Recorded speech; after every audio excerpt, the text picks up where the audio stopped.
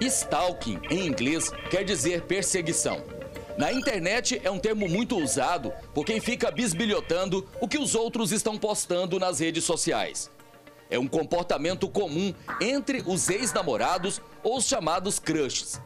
Mas desde abril, o stalking virou nome de lei, uma arma a mais para proteger vítimas de perseguições, principalmente mulheres que sofrem com as importunações por parte de ex-companheiros. Essa delegada explica o que caracteriza o stalking. O stalking é um crime recente, né? entrou no Código Penal agora em abril, e é o crime de perseguição ameaçadora. Né? É quando o autor ou autora, de forma reiterada, pratica diversos atos que fazem com que a vítima ela é, se sinta restringida na sua liberdade de ir e vir, atingindo o físico, o psicológico dessa vítima. Cite um exemplos para gente na prática.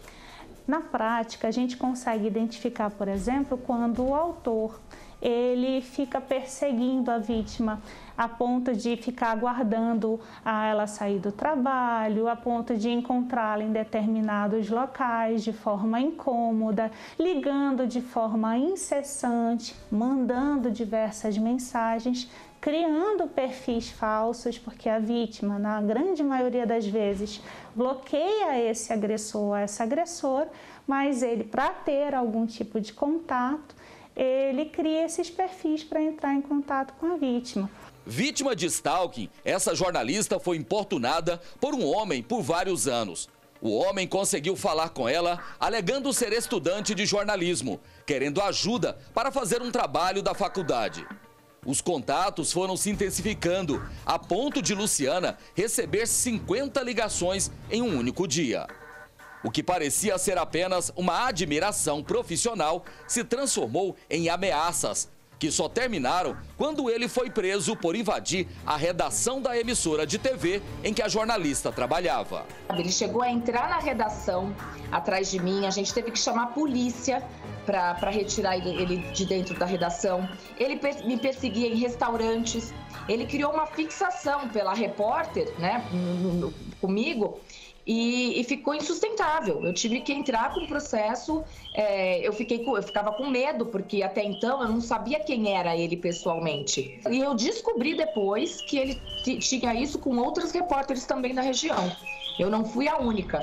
Foi assim como aconteceu comigo, aconteceu com pelo menos mais outras duas repórteres.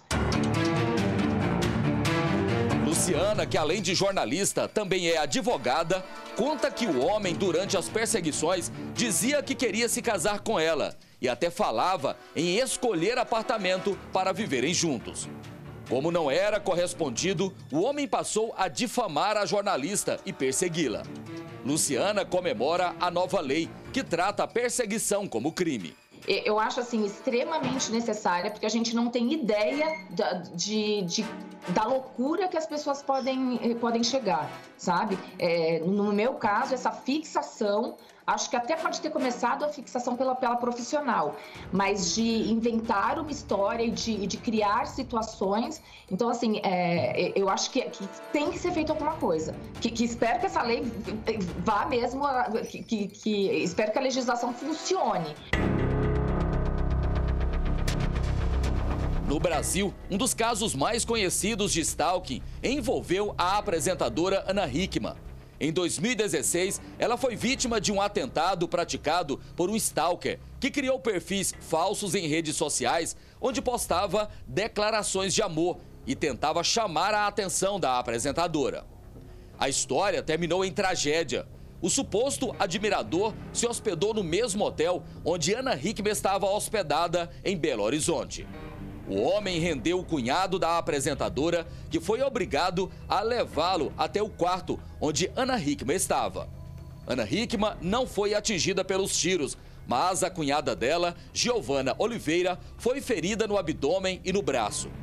O atirador, Rodrigo Augusto de Pádua, de 30 anos, tentou fugir, mas foi alcançado pelo cunhado de Ana Hickman, que desarmou e matou o criminoso.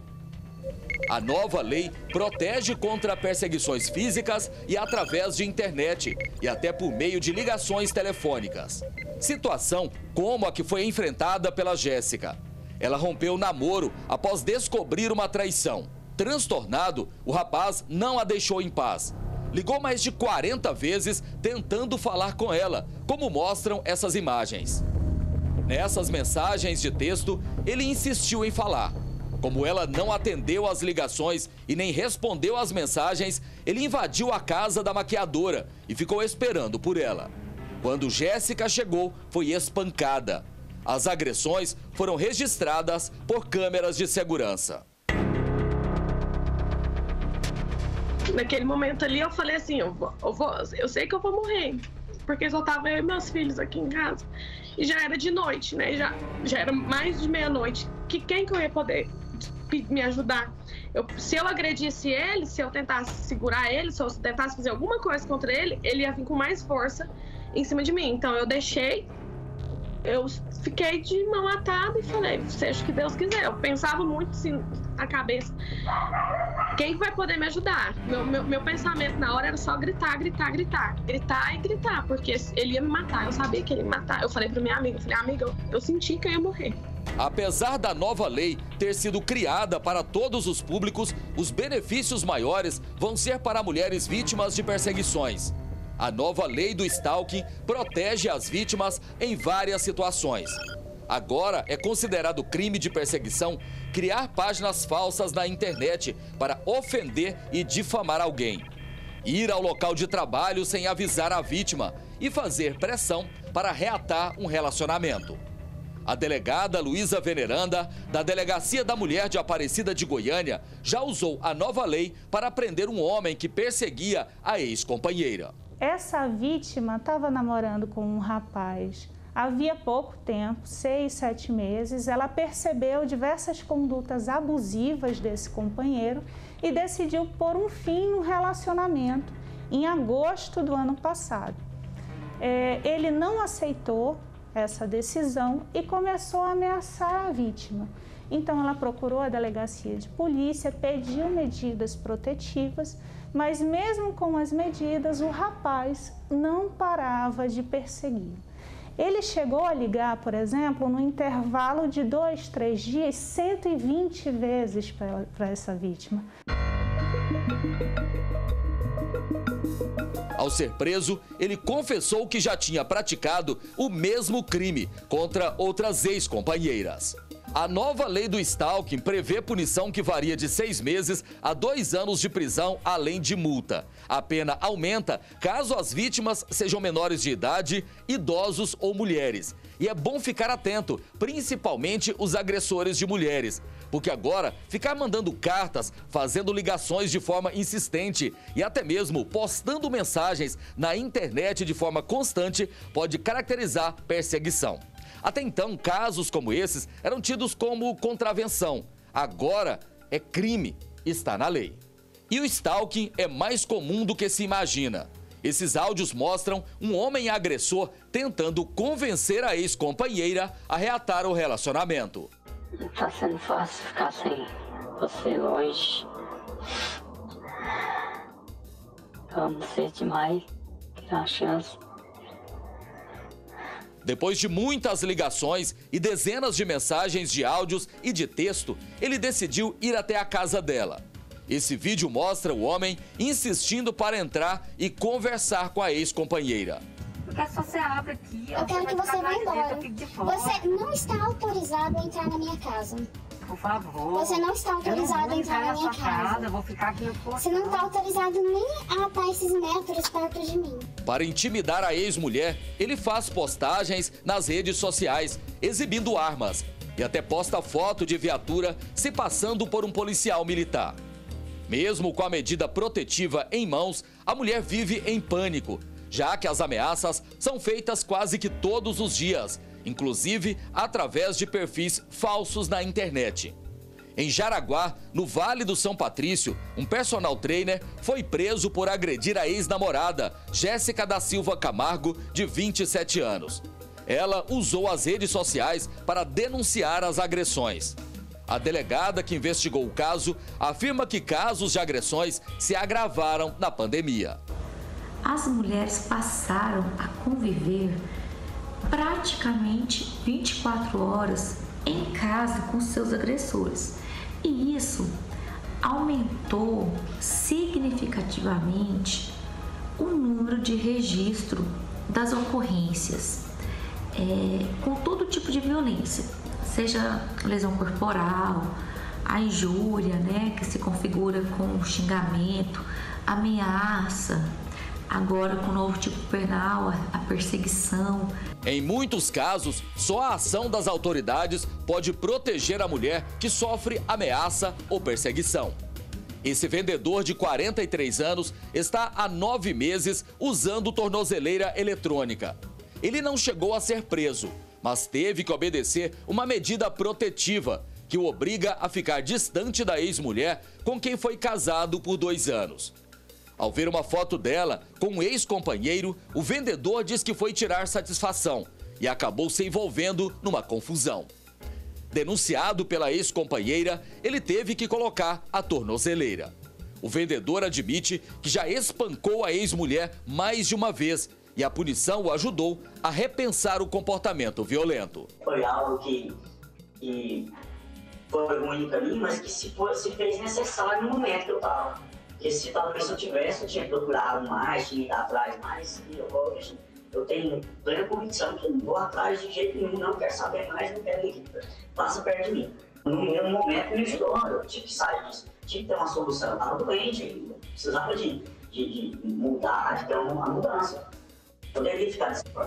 Mesmo diante de tantas leis, a mulher, vítima de violência doméstica, sofre para se livrar das perseguições que o diga a Tawane, de 21 anos. Influenciadora digital, ela expôs nas redes sociais as agressões que sofreu do namorado. Abalada emocionalmente e com ferimentos no rosto, ela compartilhou o sofrimento com os seguidores. Nesse vídeo, ela aparece chorando, mostra as marcas das agressões e é possível ouvir a voz do ex-namorado dela. Saindo aqui com os dois Tá ligado, né? Faz tudo aí, de tomar dois morrão aí na cara. Cai. Tawane diz que foi agredida durante os dois anos em que conviveu com o rapaz com quem tem uma filha. Várias ameaças foram gravadas e compartilhadas nas redes sociais. Eu nem me iludi achei que você é Sandra, mas é Sandra do falou. Sandra Cara mais otário. Apesar de ter feito denúncia na polícia contra o ex-companheiro, o máximo que ela conseguiu foi que ele usasse uma tornozeleira eletrônica. Mesmo assim, Tawane diz que o ex continua fazendo postagens na internet com insinuações. Tawane diz que foi espancada até quando estava grávida. Eu engravidei dele e falei, nossa, acho que agora vai mudar, né? Porque acho que ele não vai ter capacidade de bater numa pessoa que está gestante. E pelo contrário, as agressões pioraram. Ele me bateu quatro vezes grávida da minha filha. Inclusive no último mês eu tive que tomar. É, no último não, no penúltimo mês, com oito meses eu tive que tomar remédio para segurar ela, porque eu tive sangramento e tudo mais. Tawane conta que hoje vive trancada em casa com a filha. Sofre com mania de perseguição e tem pesadelos constantes. Apesar da medida protetiva, ela teme ser assassinada pelo ex-companheiro. De coração, eu acho que ele está deixando só essa poeira baixar para fazer alguma coisa. Que ele não vai se contentar com isso, não. Ele não vai ficar quieto, contentando com a exposição que eu fiz dele, não. Você acha que ele vai vingar isso? Vai, com certeza. O que, que ele poderia fazer contra você? eu posso ser bem sincera, eu tenho muito medo dele entrar e me matar ou querer fazer alguma coisa contra a minha filha, que também é filha dele, apenas para me prejudicar, porque ele não tem sentimento nenhum pela minha filha, nenhum, nenhum, nenhum. Tawane, assim como várias outras mulheres vítimas de violência doméstica, reataram o relacionamento após as agressões e pedidos de perdão. Para quem lida diariamente com homens agressores, a dica é romper o relacionamento assim que perceber os primeiros sinais de que o companheiro é violento. É gradativo. Eu falo que a violência ela vai crescendo. Começa com uma, uma, um xingamento, uma ameaça, um empurrão E se não houver uma intervenção, qual é o próximo passo depois de xingar, humilhar, ameaçar e bater?